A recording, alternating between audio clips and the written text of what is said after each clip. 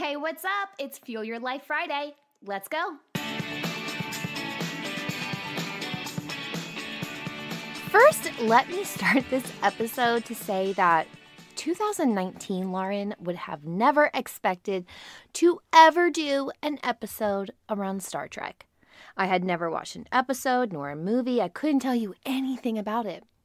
2020 Lauren, however, got hooked on Star Trek The Next Generation, and from there, well, I spiraled.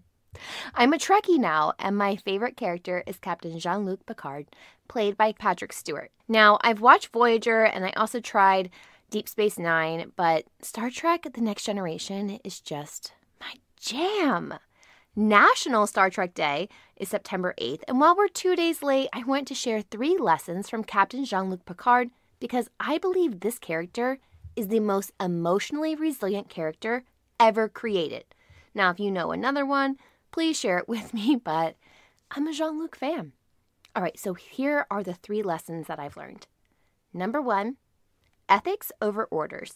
In one episode, Jean Luc is quoted to say, There are times, sir, when men of good conscience cannot blindly follow orders. You acknowledge their sentence, but ignore their personal liberties and freedom? Order a man to hand over his child to the state? Not while I'm captain.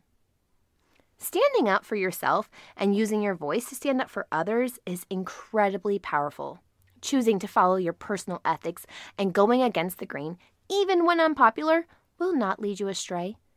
Part of this is being true to yourself, but it's also knowing yourself.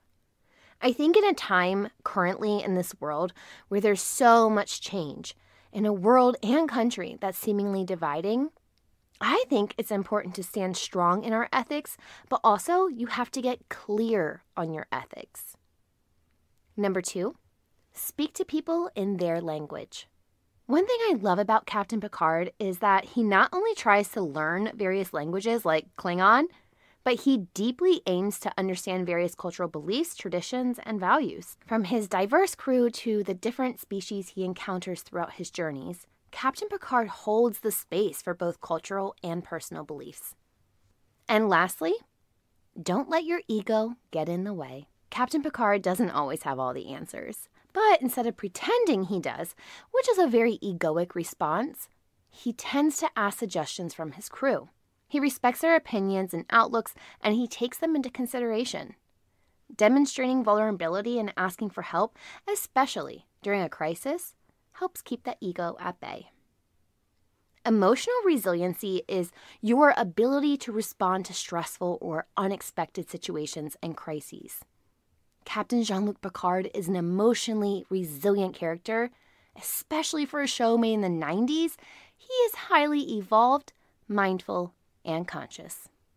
So, happy 55th anniversary to the Star Trek series, and a happy belated Star Trek Day to all of the Trekkies.